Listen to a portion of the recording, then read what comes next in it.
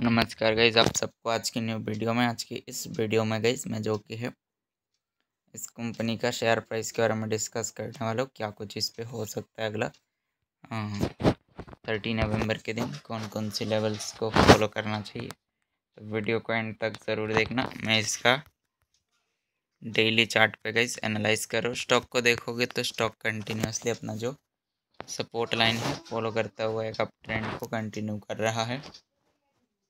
तो अभी अगर देखा जाए, इसका काफ़ी ज़्यादा स्ट्रॉन्ग वाला सपोर्ट को तो इसका काफ़ी स्ट्रॉन्ग सपोर्ट जो सबसे पहला देखने को मिल रहा है वो है three hundred fifty nine point fifty पे सपोर्ट है। रेजिस्टेंस जो पहला फॉलो कर सकते जो कि है three hundred eighty five point sixty five पे काफ़ी स्ट्रॉन्ग सबसे पहला रेजिस्टेंस है। अगला देखा जाए तो three hundred ninety seven point ninety five पे इसका अगला सब रेजिस्टेंस देखने को मिल रहा है।